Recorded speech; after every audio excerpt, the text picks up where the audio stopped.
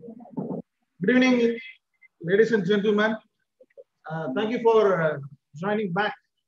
Uh, very warm welcome to you all for this uh, final session of IVCET 2020. Yes, this is the time for uh, the curtain marching towards the end of this uh, IVCET. I extend a very warm welcome once again to you all. We are so delighted to have you back after having enthusiastic and innovative presentations. Really, we are so happy to have you back again. A great author, Max Lucado says, our prayers may be awkward, our attempts may be feeble, but since the power of prayer is the one who hears it and not in the one who says it, our prayers do make a difference. With a prayerful heart, let us listen to the prayer song.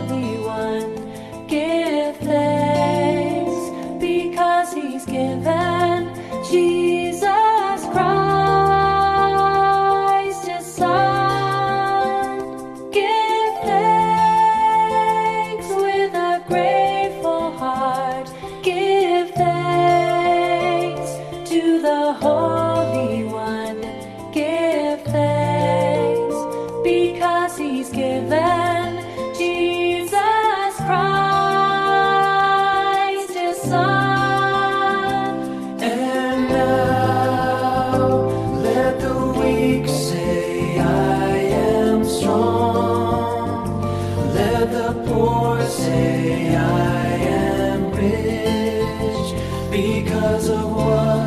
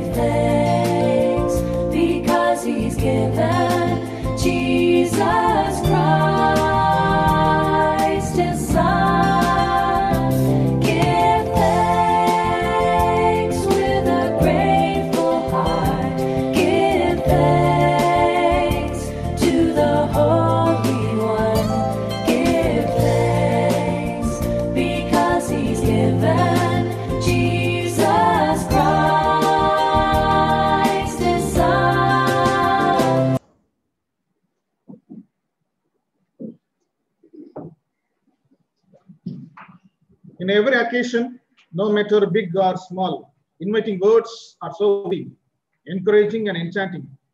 May the excitement of today enthuse you. May its excitement surround you. And may the fellowship that we share create happy memories and smiling, magical moments. Now I request the organizing secretary of this international conference, Dr. Gayatri, to welcome the gathering. I take this opportunity to thank God Almighty for the wonderful uh, international virtual conference held today. I welcome all the dignitaries for this valedictory ceremony. I welcome Dr. Satyasilan sir, our supporter for this occasion. I welcome you, sir. And I welcome Dr. Rajkumar sir, our motivator for this valedictory function. I welcome you, sir. And I welcome Dr. Soga sir, our pillar for the ceremony, sir. I welcome you. And I welcome Dr. Rajakumar Murugesan, sir, Faculty of Innovation and Technology, ALS University, Malaysia. I welcome you, sir. And I welcome all my dear colleagues for this occasion. I welcome you all. To take this opportunity welcome all our uh, scholars available there. Welcome you all. Thank you. Thank you, ma'am. Thank you so much for your uh, crisp and short and sweet uh, welcome address. And this is the time to see the visible result of our international conference. Uh, this is the time for uh, releasing the proceedings of our conference. Now I request uh, Dr. J.G.R. Sathiaseelan, sir, uh, the head overall coordinator of CAIT and computer science, dean of student and staff welfare, to release the proceedings. And also I request Dr. Rajkumar, sir, to receive the proceedings of this international conference.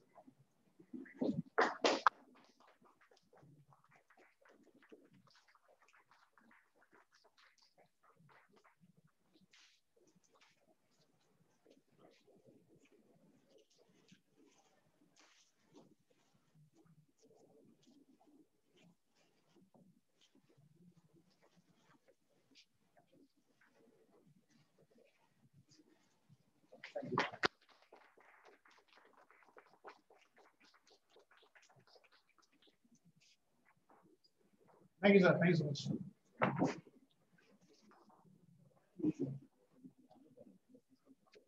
Anthony de Saint-Exupéry states, if you want to build a ship, don't drum up the men to gather wood. Divide the work and give orders. Instead, teach them to yearn for the vast and endless sea. A leader needs to understand the motivations, be positive, generous, and open-minded. I invite one such leader, Dr. J.G.R. Sathiaseelan Sir, Head Department of Computer Science and coordinator of all the wings of CS and the Dean of Staff and Student Welfare to deliver the presidential address. Esteemed chief guest of uh, today's valedictory function of uh, the International Virtual Conference on Emerging Trends in Computing, which is thoughtfully organized by the Department of uh, Computer Science, Shift 2. Dr. Raja Kumar Murugesan, who has uh, come over here to give the valedictory address. Dr. K. Rajkumar, who is also with us right now, who has just now received uh, the proceedings of uh, today's uh, conference uh, proceedings, who is the head of data science, beloved head of the department, Dr. Somas Miles, who is the convener of uh, today's conference and uh, the organizing secretary, Dr. P. Gayatri, all other faculty members who are gathered here who are responsible for organizing this international virtual conference, and all the research scholars who have taken part in this conference, and by the various participants from different parts of the world. It gives us all great pleasure to conclude and complete today's wonderful event, which is organized by our department. It is the meet for all the participants who are doing research activities in the domain of computer science.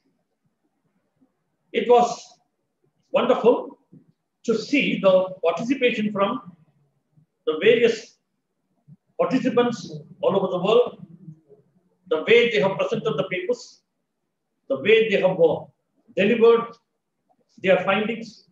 It was so nice. Also, we would like to appreciate the plenary speakers' talks, which helped the people who attended this conference today.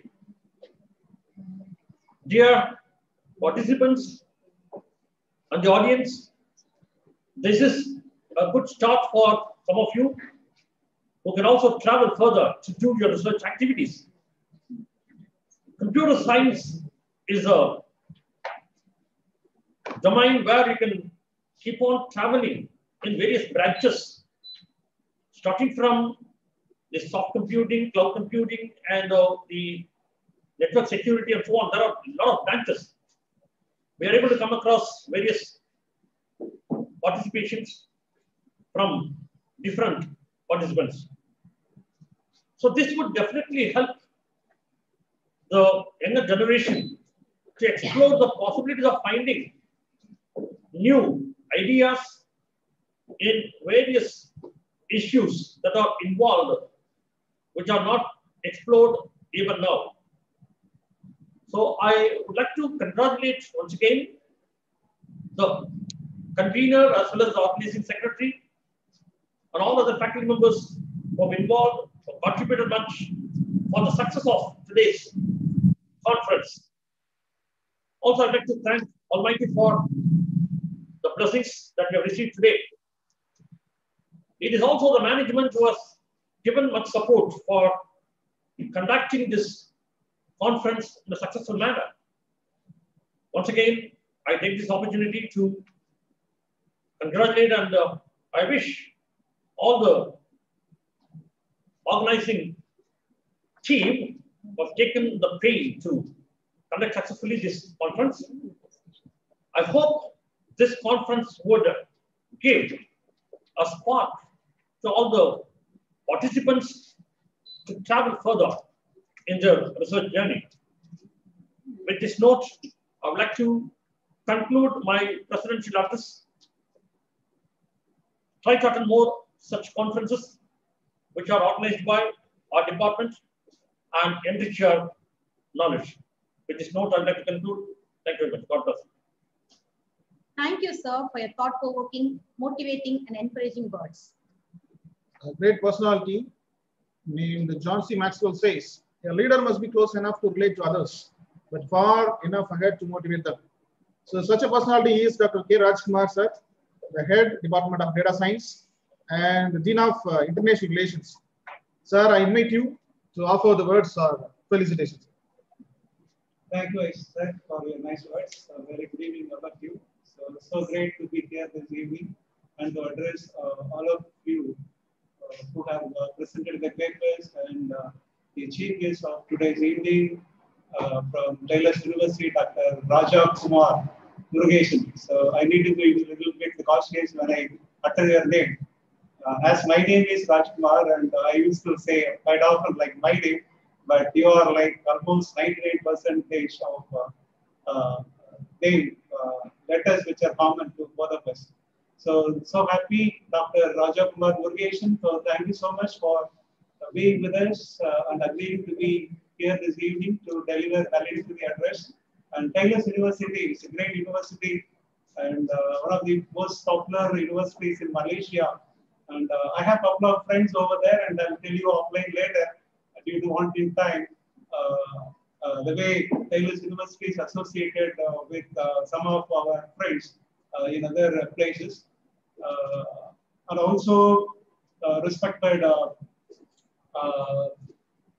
Satish Shivan sir, who is head of the Department of Computer Science and coordinator of all computer science programs and the staff and students welfare, respected uh, uh, head of the department, uh, Dr. Sobers, who is the convener of this very popular conference, international virtual conference on emerging technologies, and here Gayatri, organizing secretary, and all the organizing team uh, from uh, computer science department of our college. So very great to see everyone, and also I can uh, see very varied uh, intellectuals from uh, different uh, countries, different states, uh, who have helped us to scrutinize papers as part of the paper review committee and advisory committee and uh, chairing various sessions is a very great, uh, great deal of work. It's not easy to be a session chair. I could see more than uh, 10 different experts who have helped us in conducting uh, the sessions and then reviewing all the papers. So, so thank you so much. And uh, it needs a lot of uh, effort and patience to be here and to act as the session chair. It's a very deal of hard work. And also all the participants from uh, various countries. And I could see many papers coming from Middle East uh, uh, countries and uh, different states of India and also and Tamil Nadu. And uh, thank you all for uh, having faith in uh, Bishop Heber College and also having faith in uh, the conference, even though the conference was organized in a very short span of time. Uh, you have uh, you have had a lot of faith among us, and then that made you to submit your papers for our conference. So when I just contacted uh, Secretary, and it was more than uh, 60 papers, and it's, it's not easy. A lot of big conferences, even they don't even uh, select uh, 60 papers, they will restrict. Okay, but uh, we had a very great lineup of uh, papers coming from various uh, domains.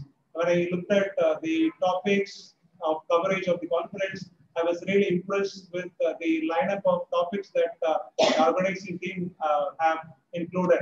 I could see various very interesting topics ra- ranging from RPA, uh, machine learning, data mining, and then cloud everywhere, and uh, artificial intelligence. When I say, when I look at these different topics, they are very hot. They are the need of the right present hour because the way the uh, computing has uh, improved is quite amazing. Those days have gone where we all had procedural computing, uh, procedural programming. So when I say what is procedural programming is a way of doing computation.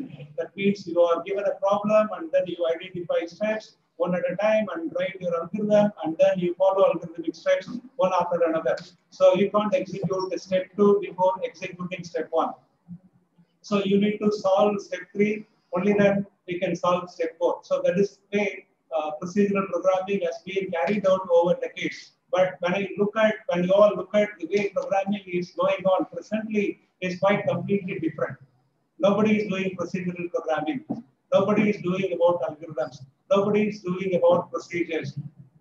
So you might wonder what's happening right now. We are not following any procedural programming paradigm. So there's a complete paradigm shift from procedural programming, and then we had object-oriented programming, and presently, will uh, the scenario is completely changed. Now is completely is called the data programming. So nothing, no procedure is required, no algorithmic steps are required. Only uh, you need only bunch of data, and the way you are going to uh, write your code such a way that your code learns from data. And that is the amazing thing about uh, the current scenario in the IT industries. All IT industry now they are just scratching their head how to incorporate this data programming, how to move away from procedural programming into data programming.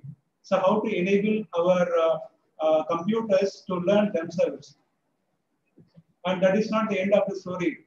The story goes beyond to that. That is called uh, RPA, robotic process automation. And uh, I will be happy to see uh, some of you who have uh, presented the papers in RPA. And I hope you know that what is the Blue Prism, okay, a very popular uh, uh, RPA software. Okay. And uh, UiPath is another very popular RPA programming software. Okay, so those days have gone where only you educate your robots. Now you want to educate your computers, you want to educate program. And that is the idea behind the RPA.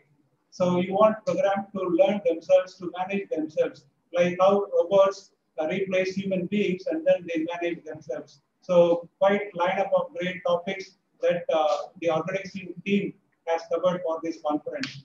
So very amazing uh, to see such a team of uh, young faculty members from the Department of Computer Science uh, who have spent uh, tireless evenings, late nights to conduct such a great conference. It might look like a very simple conference, but at the background, it requires a lot of planning, right from uh, advertisement, marketing, and website updates, and then collecting papers and reviewing papers, uh, getting in touch with authors. So you might see, uh, like uh, every author has a lot of questions themselves. So they need to keep asking us questions. Okay, even in late evenings, late nights, over WhatsApp. Okay, all those different media. So we need to be patient enough to answer all the questions.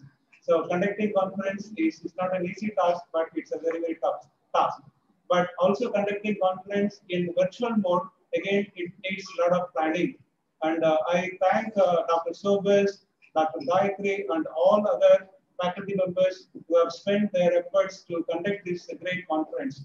And not only that, uh, I wish this uh, conference to move beyond 2020. I wish to see the conference uh, IEC uh, ET 2021 uh, in the year 2021. I hope they're all doing a lot of planning to just continue this conference edition uh, beyond 2020, like 2021, 2022, and why not? And we want to see 10th edition of the conference, uh, 20th edition of the conference. So I, I'm very sure that uh, the conference organizing team has all the required skills and then abilities to continue the conference, to sustain the conference in uh, future years.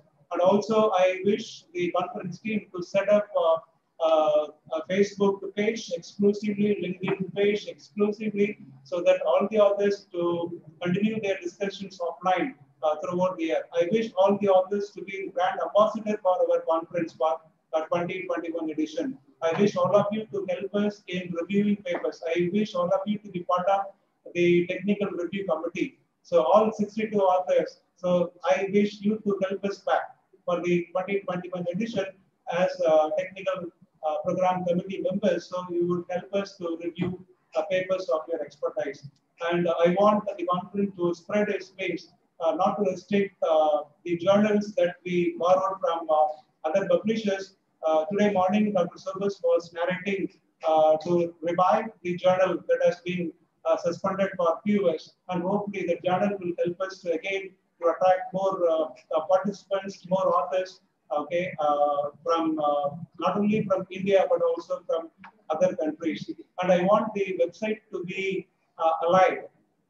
So I want uh, the conference uh, organizing team to ensure that website is alive throughout the year, and uh, so that it will help us to attract more people uh, uh, beyond uh, the conference time, and many people will be in touch with uh, everyone, uh, every uh, authors, and also among the organizing team.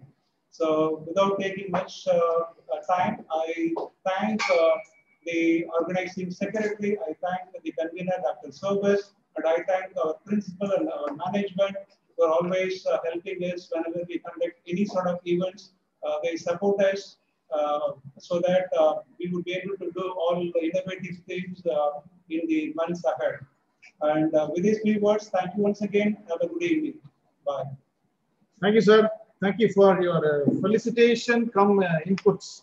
So you give us a lot of inputs and uh, be sure that we will continue as per your words. We will continue uh, 2021, 22. It will be going up to 20th. After 20th also, we will be planning to continue this session. And also with the support of the IP, we will be uh, keep the website alive. Thank you for your input, sir. Thank you, sir. A great man says, let us always concentrating on improvement through learning and experiences. It gives me joy and honor to introduce the chief guest of the day, Dr. Rajakumar Murugesan. Dr. Rajakumar Murugesan. Uh, he is an associate professor of computer science and head of research for the Faculty of Innovation and Technology at uh, uh, Taylor's University, Malaysia. Uh, he has completed uh, his PhD in Advanced Computer Networks at University Sains, Malaysia, and he is having more than 28 years of experience as educator. His research interests include a variety of technical area, IPv6, future internet, internet governance, computer networks, network security, IoT, blockchain, machine, machine learning, and affective computing. Uh, he is also a member of uh, various uh, professional bodies like IEEE, IEEE Communication Society, Internet Society associated with the IPv6 Forum, uh, Asia Pacific Advanced Network Group, Internet 2, and Malaysian Network Operator Group members community. And he has given uh, several invited talks and presentations at various international events, and he is an uh, active researcher also. So now I invite Dr. Rajkumar Murugesan to take over the session, sir. Sir, please. Uh, Thank you. Thank you for the uh, introduction. So glad to be here. Uh, Respected uh, JGR uh, Satish Seelan, conference chair.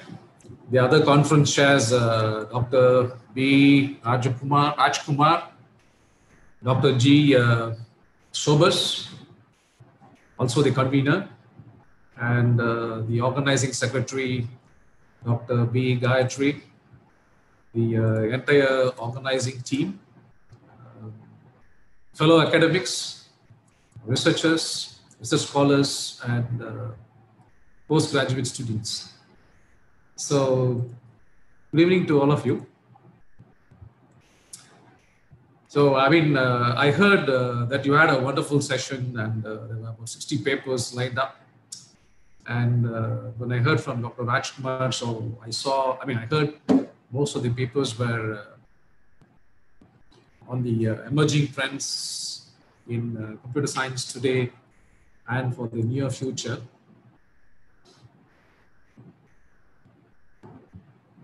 Um, I thank the organizing committee, entire organizing committee uh, for this invitation. And uh, let me share my slides.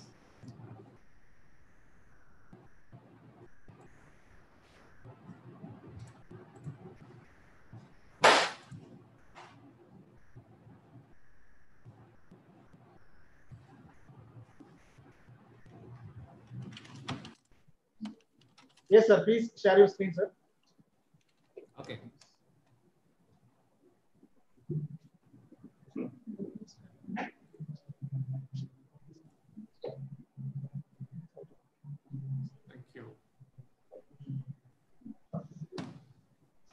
Okay, uh, my talk is to give the uh, valedictory address. So, trying to connect uh, the emerging trends in computing uh, today tomorrow with the digital transformation. So, how these um, emerging trends in computing are uh, uh, transforming the world today.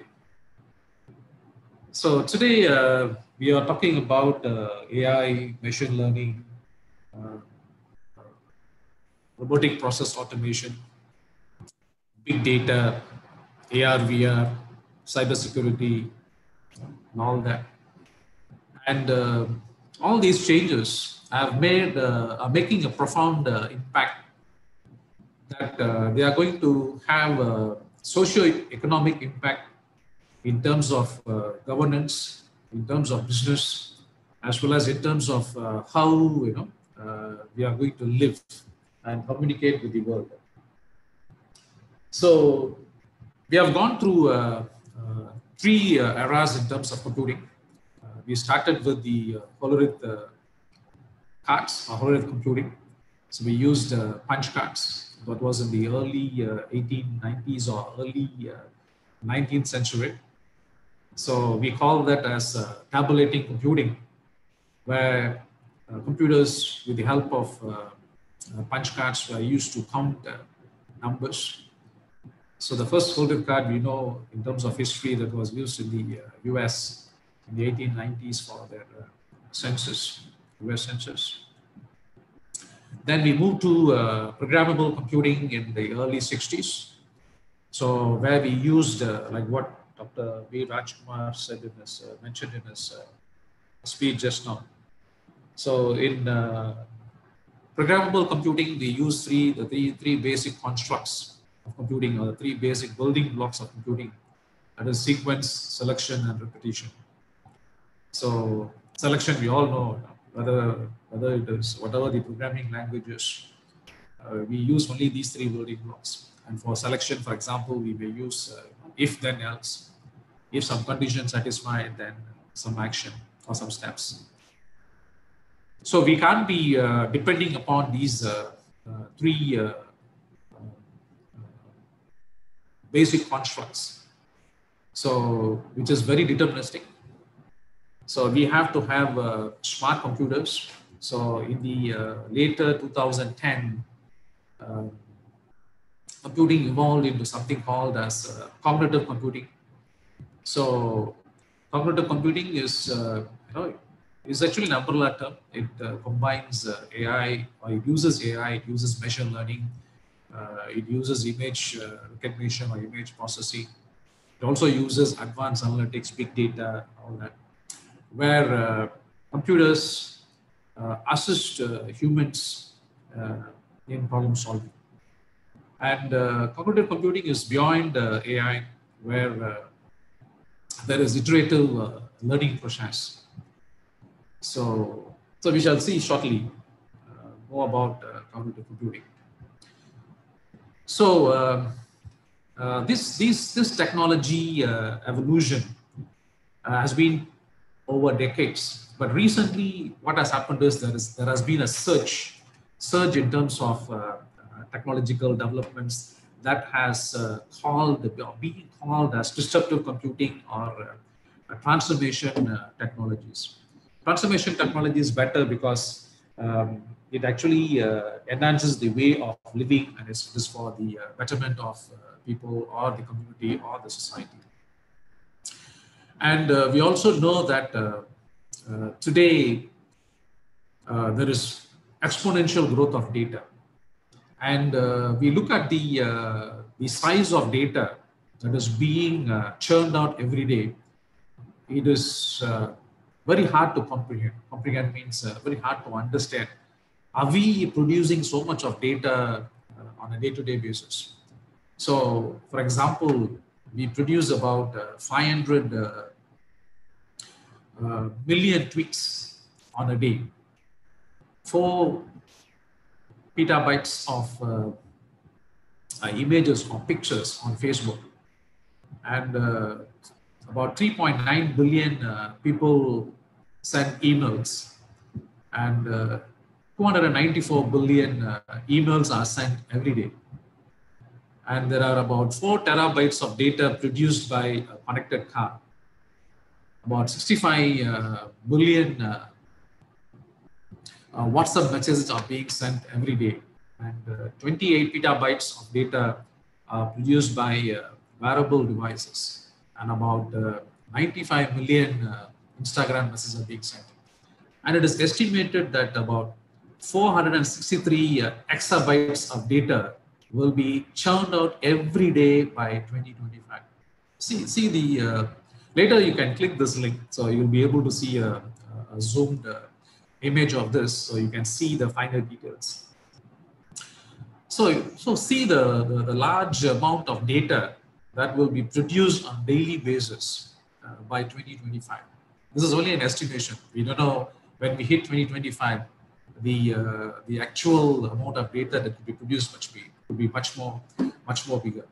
So we have moved from uh, talking about terabytes of data to uh, yottabytes of data. That is about 10 power 24.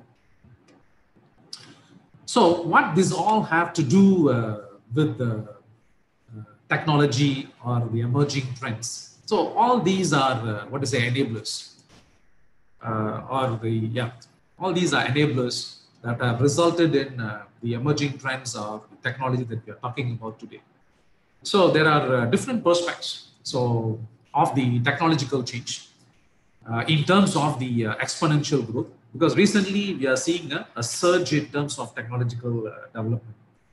So, so there are two perspectives uh, of looking at the uh, pace at which this technological change is happening.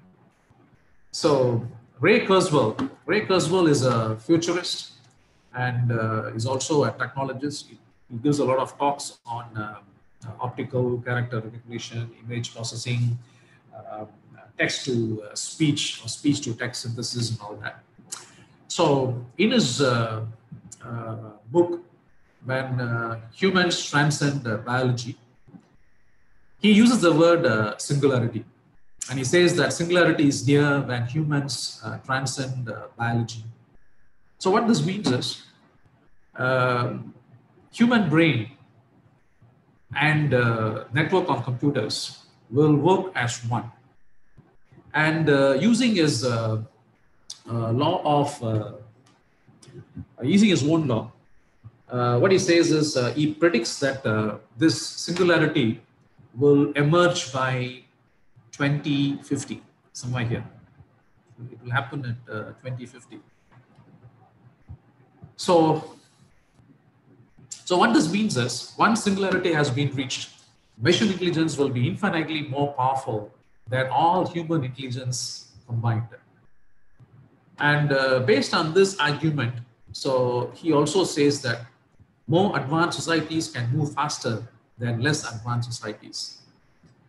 And uh, another argument based on this theory is we are moving from a path from narrow intelligence to uh, general intelligence. And, and we are seeing that uh, happening today. So today we are, we are here, uh, narrow AI and uh, broad AI in terms of developments uh, on AI. So narrow AI is, narrow AI is about single task, single domain, and it requires large amount of data. So we, we normally, we know that. So we use a large amount of training set of data when we make the algorithm to learn. And broad AI is about multitask, multi-domain, and uh, trusted AI capable of learning with less data. And actually, this is happening now, and uh, they are looking at uh, this as the near future. And by 2050, they are looking beyond general AI. They call it as uh, uh, beautiful super AI. So the general AI is going to be uh, cross-domain learning and reasoning, where uh, the system will have capabilities in terms of broad autonomy with uh, moral reasoning. So today they're talking about, uh, because of this robotics, uh, they are talking about uh, ethical AI and all that. So, so the AI in the near future or the far future will have you know, more autonomy it can self-learn. A lot of self-learning happens today itself. There are a lot of uh, robots that can self-learn, uh, looking at the surroundings, looking at the environment and all that. It also can interact with the human components. And uh, that's where the broad autonomy uh, with moral reasoning comes. So um, this is one, uh, one perspective in terms of uh, the technological change that is happening. And uh, the other perspective is by uh, Sir Roger Penrose. Sir Roger Penrose is a, a mathematical physicist and uh, he's a Nobel laureate in physics as well. And what he says is he, he actually disputes uh, uh, the outcome in terms of uh, machine intelligence that is mentioned by Ray Kurzweil.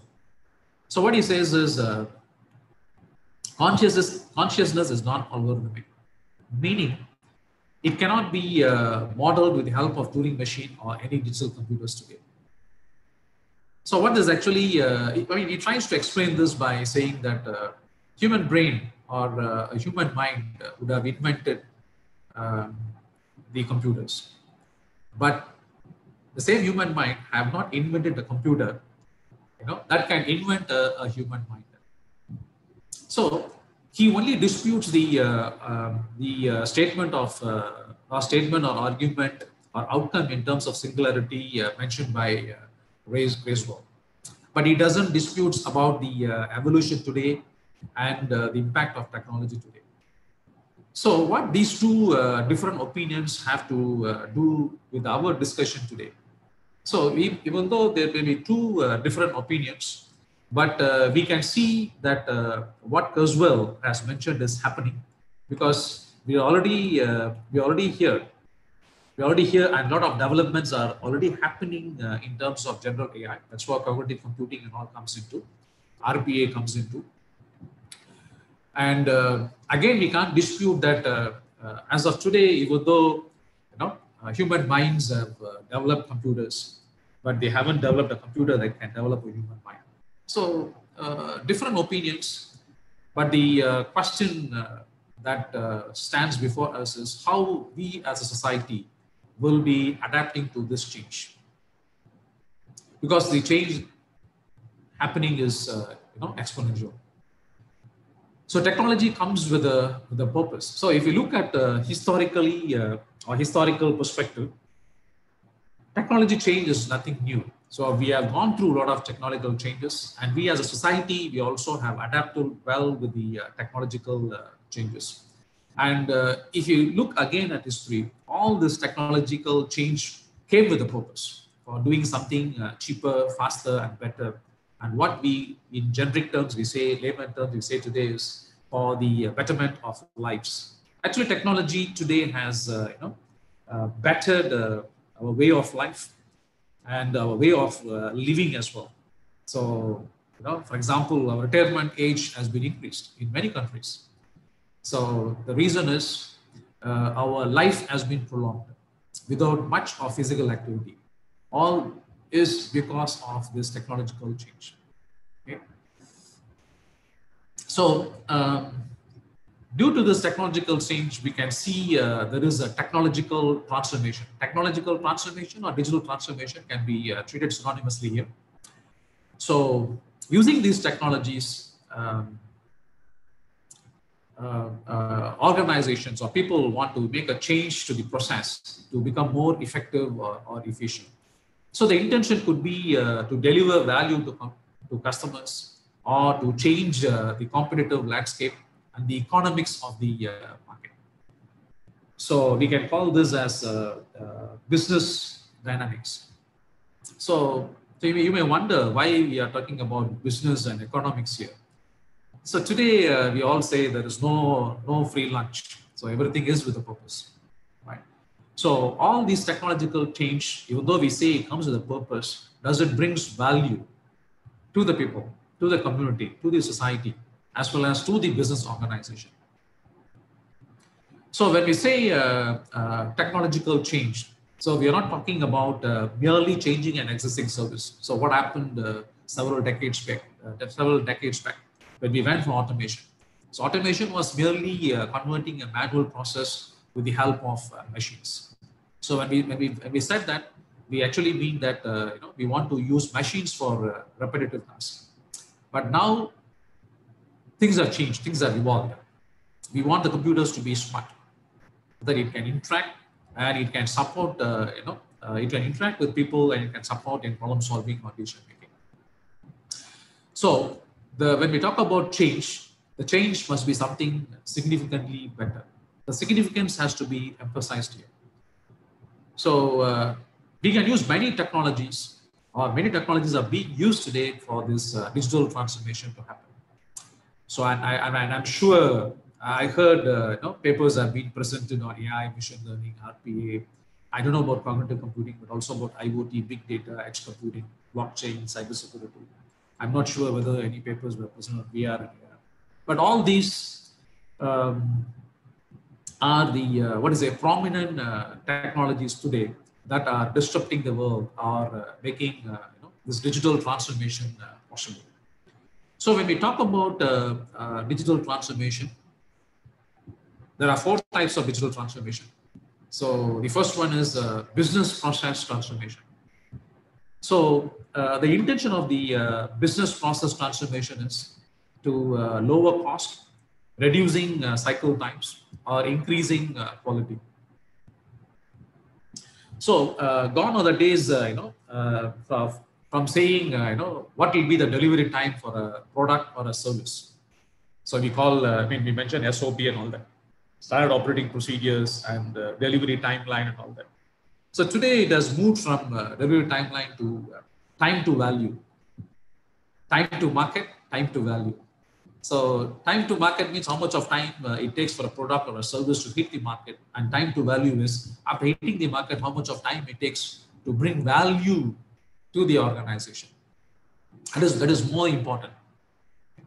So this is where the, the intention of uh, today's business process transformation is, where people are also using RPA to uh, you know to facilitate this business process transformation. So only one tool is RPA. There are many others.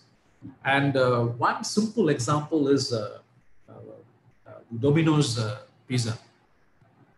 So what Domino's did was, we all know quite some time back, uh, Pizza Hut used to rule the uh, pizza market.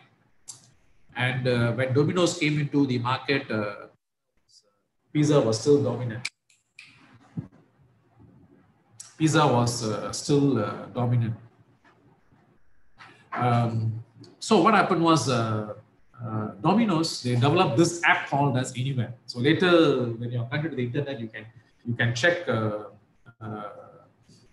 this app, and you can see you can uh, use uh, text or voice and any device to uh, to connect to this app. I mean, to connect to this app, and you can uh, order uh, pizzas.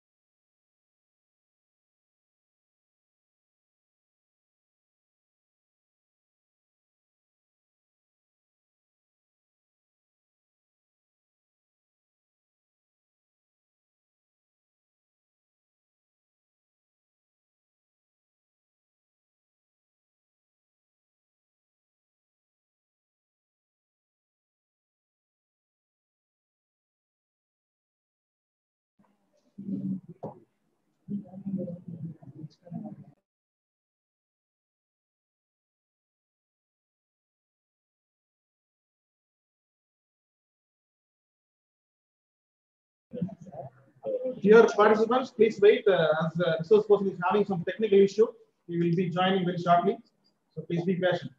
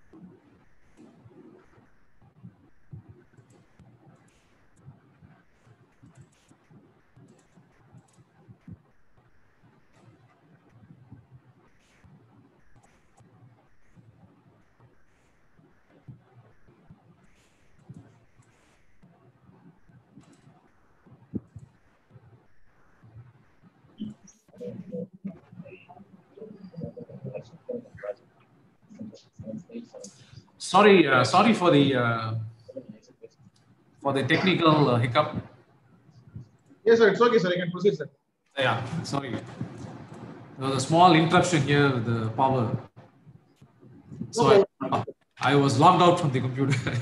I'm back. I'm back. Yeah, just just hold on. Yeah. Can you can you see the screen? Yes, sir. Yes, sir. Okay, all right. So uh, if, if you look at uh, this Domino's AnyWare app, so you can order through uh, any device and through uh, voice or by text, you can tweet. So what happened was uh, uh, through this business process transformation, Domino's was able to outsmart Pizza Hut in terms of sales. And today we all know across the world, Domino's pizzas are dominant. Um, the second type of transformation is the business model transformation. So a complete shift in terms of uh, rethinking in terms of the uh, business model uh, is seen by uh, today's organization. So the intention is to, uh, to deliver value. And uh, we have very common examples like Netflix. So how Netflix revolutionized video distribution, you know, and we can watch a movie on the screen. Similarly, how uh, music distribution has been revolutionized by uh, Apple's iTunes. And uh, this Allstate and Metromile is in the US, and it's slowly uh, starting to spread across the world as well. So, see, for example, uh, car insurance. So, we pay uh, the insurance uh, on the early basis. And most of the time, the car insurance is the premium is based on the type of car, the value of the car, and the model of the car. Model means the, the year it was bought or the year it was registered for the first time.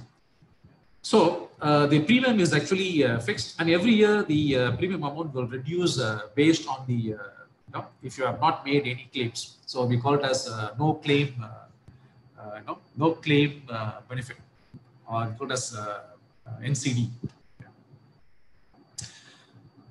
So what uh, and Metromile does is you uh, you can actually uh, pay based on mileage. Based on mileage, in the sense, for example, uh, most of us were working.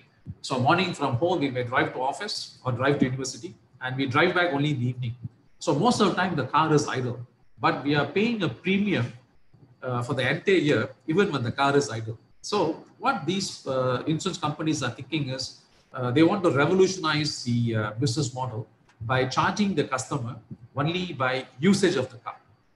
So, so when the uh, car runs and uh, if it hits an accident, then uh, you know your the the company will uh, take the liabilities. The insurance company will take the liabilities. So if you see, so uh, this is one simple example. So how companies are you know, trying to value add to the customer.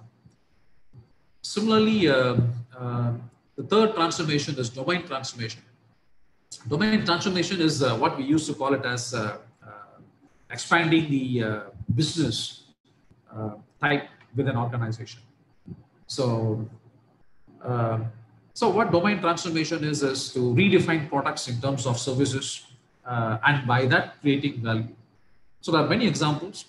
So, for example, Amazon Web Services when they started, they started as an online retail store, but today we know Amazon uh, better than online retail store also as a cloud service provider, right?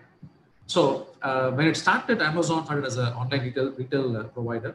But what happened was they thought, how can uh, they leverage the uh, infrastructure they have already invested in uh, invested in terms of for the online store, and they also had a very large customer bank in terms of online store. So they, they want to take advantage of this uh, infrastructure that they've invested in terms of the online store. At the same time, they also want to benefit out of the big customer bank they had. So what they did was they want to uh, uh, maximize the benefit that they can reap out of the infrastructure, essentially the IT infrastructure.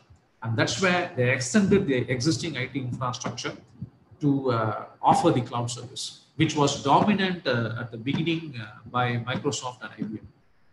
Similarly is with Google. So if you go on Google, Google means if you go and search in the internet about the uh, number of products that is hosted by Google or the number of companies uh, owned by Google, it will be mind-boggling. And we all know Google started as a search engine. There are many companies, uh, for example, uh, uh, uh, I am associated with a local company here. I mean, it's not a local company, it's a Swedish company by name Hilti, H-I-L-T-I. So they are competitors to Bosch. So you all know uh, Bosch, uh, the uh, hand drills that we use to drill nails on the wall. So uh, Hilti is uh, similar. They also produce uh, not just merely hand drills, they, they, they produce uh, heavy machineries and drills that are used in constructions, big constructions, not just, I mean, home hand drills. So, so they are the biggest competitor for Bosch. So this uh, Swedish company, uh, even though they are uh, you know into uh, uh, manufacturing and selling uh, heavy machineries for construction, they also have a IT division. So in- initially, the IT division was to to be self-sufficient. Self-sufficient means they want to develop their own software for their own what is a in-house consumption for their own you know supply chain, CRM, invoicing, uh, to support their uh, sales and services and all that. And today, what has happened is uh, uh, it's very competitive. And when you go and put drill, you want to buy a hand drill and you go and put it internet, maybe in Google. So immediately you will see a lot of you know vendors promoting their own products. And for example, you go into Bosch or Hilti or any other company. After a few seconds, you will see uh, you know a bot popping up you know, a chat box pop- popping up and asking, you know, how can I help you? So uh, initially, this, these chatbots were uh, purely message driven. So now they are moving from message driven, I mean, text driven to voice driven as well. And uh, they, they, they want to pick a conversation such that uh, it not only services uh, new customers, it also want to service existing customers. And they want to see how they can value add uh, to their company by serving existing customers as well as new customers as well as their own staff. So these uh, bots are becoming, uh, chatbots are becoming very smart and chatbot is a very early and a very simple layman example for cognitive computing. Is, cognitive computing is not about chatbots alone. I'm just giving one simple uh, layman example. So there are uh, many other ways by uh, which companies are looking at domain transformation. For example, AirAsia, you would have heard about. So uh, today, uh, due to the COVID-19 pandemic, uh, most of the borders are closed. So more, I mean, most of the flights are not flying today. So these airlines are uh, facing a lot of challenge, even in terms of sustaining themselves, not about making profit, to sustain themselves. So you would have heard even Air Indigo and all that they have you know, reduced their staff. So they have to lay off the staff. So even Air Asia went for heavy layoff and all that. But meantime, what they did was they also did some uh, organizational, uh, I mean, domain uh, uh, transformation. So how in the sense, um, their in-flight catering service used to be very famous with Air Asia. So they thought, why can't we uh, sell those, uh, you know, in-flight catering services to the people? And they and they actually opened a, a chain of restaurants in uh, prominent places and started selling their uh, in-flight uh, uh, food. In-flight would be not not that, the, that are left over in the flight. I don't mean that. So because the flights are not flying anymore, so how to sustain in the business to retain at least the people that they have, and they want to remain in the market. So since the flights are not flying, they not close shop, and they not be out of service. So they started selling their uh, uh, in-flight food, uh, whatever food that was very famous, into into through these restaurants. And they also started selling their products, uh, which they used to sell uh, in-flight through online. So they opened up. So when you go to AirAsia site, uh, even today, uh, you will see all these products are being advertised. So it is also becoming like an online, uh, like AWS or Amazon online store. You may not be able to buy uh, products, product line to the extent of Amazon, but uh, whatever they were doing through uh, you know, in-flight services, they are selling through online and they have increased the variety of products as well. So many companies are uh, expanding their business as such. So next one is the organizational transformation. So organizational transformation is if you want to do business process transformation, business model transformation, domain transformation, then you have to amalgamate in terms of organizational transformation. That is, you have to create a culture of innovation that is customer centric. So you have to have a, a lean uh, hierarchy in terms of uh, uh, organization structure. So while we call it as uh, tall and flat, so more of a flat organization. That's what I mean by lean uh, uh, organization hierarchy and agile workflow and more of what to say autonomy in terms of vision making and more bias, more bias in the sense, more influence towards uh, uh, experimenting and learning. Experimenting, because in innovation, experimenting, learning uh, is part and parcel of it. So you experiment something and, and you know you see whether the outcome is positive and you from learn from there. It's an iterative process.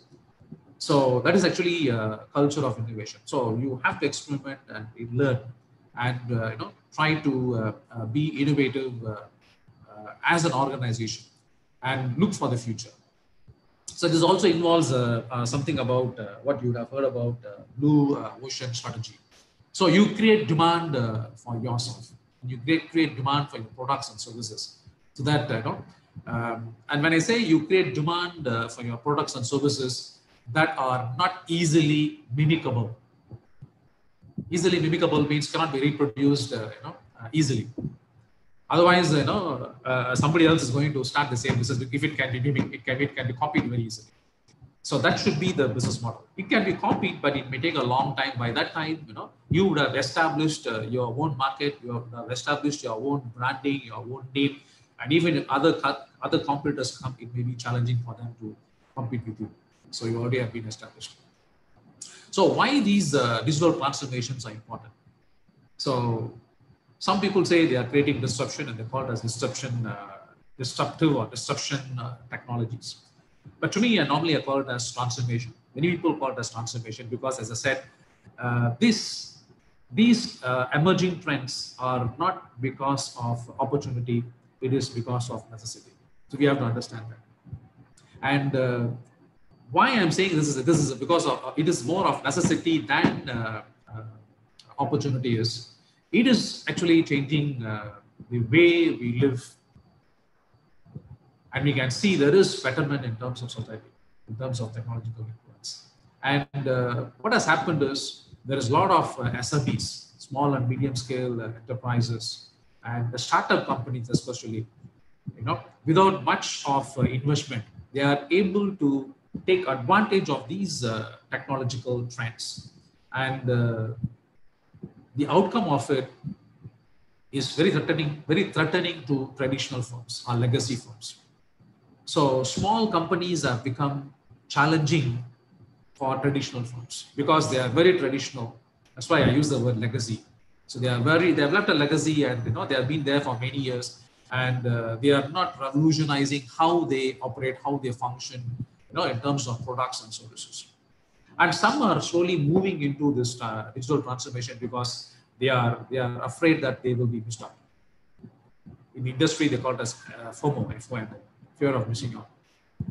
But the message here is very clear. Organizations that pursue transformation will find greater success than the others.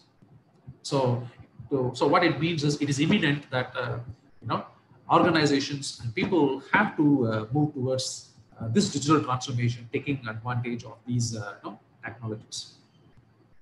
So uh, we are also seeing something that is also happening, uh, not because of the pandemic. This this started even before the pandemic started. Um, traditionally, we as humans have been interacting with the physical and digital world separately. So when I say uh, we have been interacting with the physical and digital world separately means, so when we, uh, uh, for example, for a service, uh, a digitalized service, it could be a, an online banking function or online purchase. So we used to uh, interact directly with the machine. So the operations were distinct. So distinctively, you have to make a, an operation to avail a digitized service. It could be anything, right? From banking to you know, paying bills or uh, withdrawing cash, you know, or uh, booking a ticket or buying a product online. So it has to be done, uh, you know, uh, distinctively.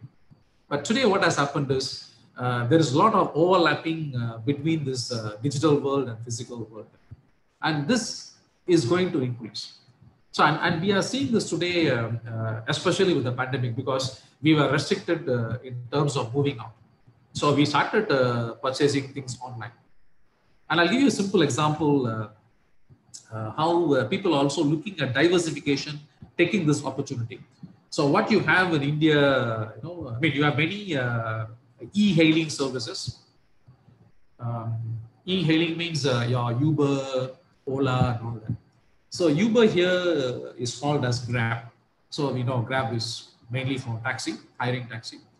So Grab slowly what happened was here they, uh, uh, extended uh, from taxi e-hailing services to uh, uh, food delivery service.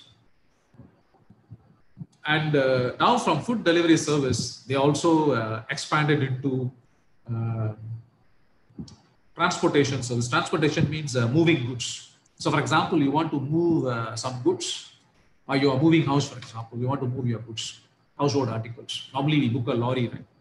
Or a transportation service. So like, uh, like Uber, booking a taxi, you can book online. And it's very prompt, very cheap, very prompt. You can tell how big lorry you want. Or you, you don't have an idea how big a lorry you want. You tell what uh, articles you want to carry. Then, they advise you what type of vehicle for you to book. And recently what has happened is they also started selling uh, vegetables and fruits straight from the market. So you, you order today, it will be delivered uh, 12 o'clock, uh, 12, 12 before 12 noon the next day. So what they're trying to do is they are trying to take advantage of the infrastructure they have and the people they have, and they see how it can be uh, utilized to the maximum. So they want to maximize the utility of their infrastructure and the manpower. At the same time, they also want to give uh, value-added uh, services to the people. So when this happens, what has happened? Where, where come where from this? Uh, uh, you know how the uh, physical and digital worlds you know overlap. So many things are happening automatically. So for example, uh, instead of me going to the supermarket uh, buying my milk on a weekly basis, so I know I'm, I'm, I'm using one carton. One carton means one liter per day. So every week uh, or the weekend I go and buy for the next week. So I can actually uh, book it online, and I can make it as a you know auto uh, service. So every week automatically, you know, the uh, online retailer supplies me, replenishes my milk, supplies me, you know, seven cartons. And uh, my buying vegetables are routine, my provisions are routine. So I can automate all this, something like auto billing that you do for your, you know, uh, payment of your telephone bills and all that. So uh, the interaction in terms of uh, a human component interacting with the communicating with the machine to perform a digital activity is becoming smaller and smaller. And this, that's why I mean, I I think that's why one of the reasons they call it as a new, a new normal, new way of life. It has become part of our life. And uh, as I said, this, this started happening even before the pandemic, but after the pandemic, we are seeing in a, in a, in a heavier concentration. And uh, uh, the industry is looking at this is going to increase over time. And uh, in terms of uh, uh, organization, they also have named this as a model. So you all know, you have heard about brick and mortar companies. So brick and mortar company means you have a physical office. And Airbnb, uh, Grab, and all that are good examples. Uh, they don't have any brick and mortar company, right? So, so what has happened is um, today they call it as uh, bricks and clicks. So a lot of, uh, uh, for example, uh, garment stores like H&M, Zara, and all that, international market chains in garments, they started closing shop because uh, they occupy a huge uh, physical space, rental, so maintenance, sustainability was a big challenge. Competition also was a big challenge because there were many online stores selling the same uh, garments and all that. So what has happened is they can't simply close shop. So they reduced the number of physical stores and started uh, also selling products online. And that's what we are doing today, uh, you know, uh, in terms of education as well. So we in Taylor's University, I'm not trying, I'm trying to promote Taylor's University here, but we in Taylor's University also call this as bricks and clicks because we have uh, quite a substantial number of international students. So all our classes in parallel can be, uh, you know, uh, followed by the international students. And when uh, when the when the restrictions are less, we have the uh, lab sessions and tutorial sessions face to face. Only our lectures will be online. So when we still do uh, our labs and uh, practicals or tutorials face to face, parallelly international students can connect to us online because of travel restrictions. They cannot uh, you know, come to Malaysia. So in the industry, I'll just give you an example. So in the industry, they call this as the uh, bricks and clicks model. So you have a, you know a physical interaction, maybe in a face-to-face enclosure, like in a classroom or a physical store. At the same time, you sell the same product or services online as well. So you see how uh, you know the things are evolving. So that's why there is an increasing lap, uh, overlap in terms of the uh, physical world and digital world, and, and this is going to expected to increase. And uh, this change will change the work, I mean the way we work, we learn, and we live as humans. And what this has to do with this, this is going to create a lot of uh, opportunities. So, so we are looking in terms of two uh, perspectives, two-prong approach. There is, uh, we have uh, digital transformation happening, we have fusion of technologies happening, and uh, we should not forget all these are happening uh, uh, with the help of these emerging trends or emerging technologies. So, so what is the, I'm coming to the conclusion now.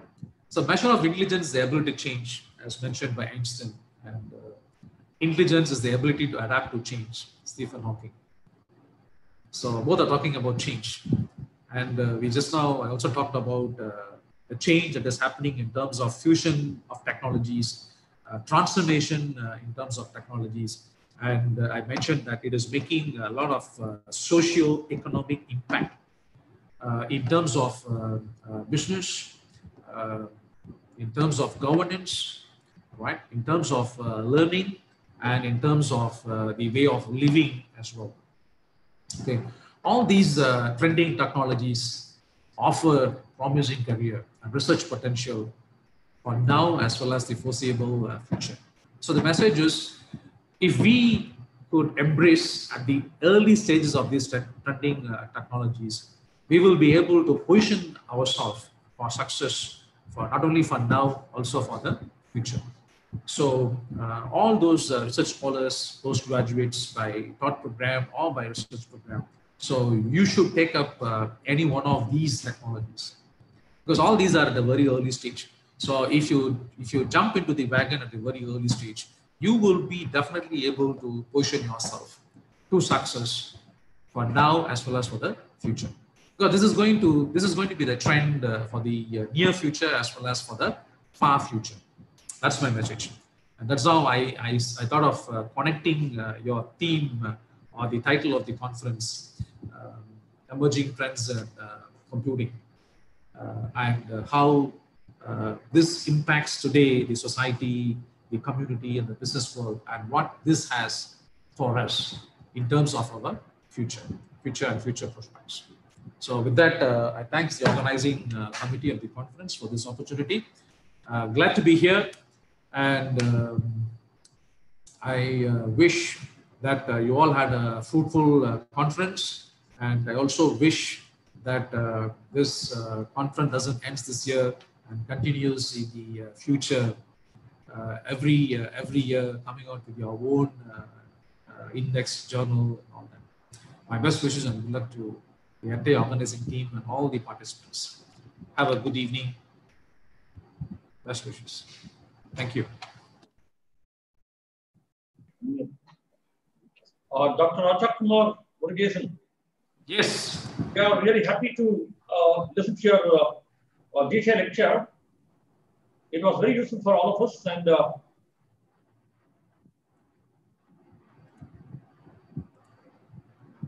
and that's a special note about you because uh, most of uh, our faculty members may not know that uh, you are uh, uh, the illustrious alumnus of our college.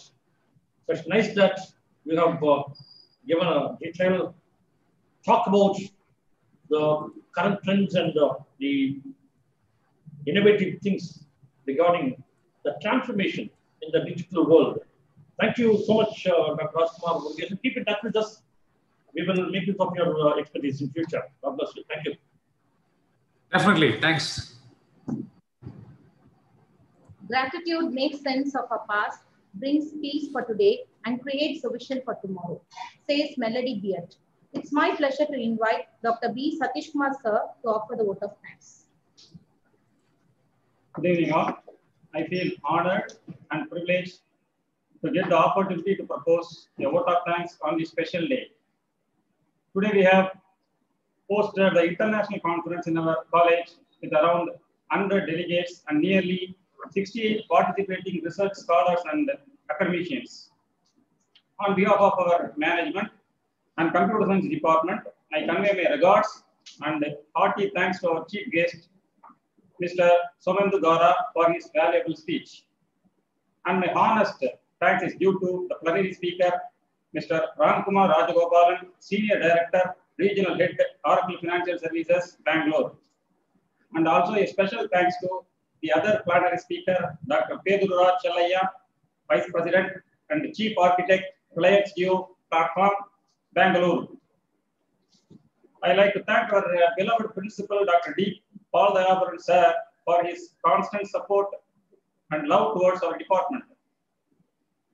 My sincere thanks are due for our beloved head, Dr. J.G.R. Sathiaseelan sir, Head Department of Computer Science aided, Coordinator of Computer Science, IT Department, and Dean of Staff and Students Welfare. I record my sincere thanks to Dr. Raj Kumar, Head Department of Computer Science, Head Department of Data Science, and Dean for International Relations. A nice valediction given by Dr. Raj Kumar Murugesan, Head of Research, Faculty of Innovation and Technology, Taylor University, Malaysia. Thanks, sir. I would like to thank our near and dear head, Dr. G. Sober Smiles David, Head Self-Financing Section 2, and Associate Dean of International Relations. I register my sincere thanks to the Organizing Secretary, Dr. B. Gayatri, Assistant Professor of Department of Computer Science, Shift 2. I am very happy to thank all my faculty colleagues and also all paper presenters from various colleges and universities. A special thanks to all IT support friends and non-teaching fraternity for rendering their fullest support for making this uh, conference a grand success. Thank you. Thank you all. Thank you, sir. So, dear positive participants, uh, the feedback link is already posted in the chat box. Uh, please fill up the uh, feedback link. Your uh, feedback will be helpful for us for the upcoming events. And uh, once again, we are thanking you for your support. And you all, almost you spent the whole day with us okay, through this uh, international conference. And we are signing off here with the hope that we will again meet in IVCET 2021. Thank you once again. Bye bye.